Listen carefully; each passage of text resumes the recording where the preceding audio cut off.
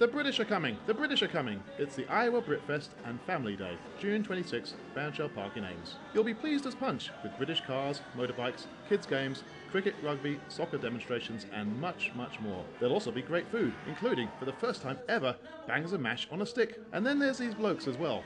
Enjoy British Export, the world renowned Beatles tribute band. It's Iowa's Britfest and Family Day, June 26th, Bandshell Park in Ames. Visit iowabritfest.org and save money on tickets today.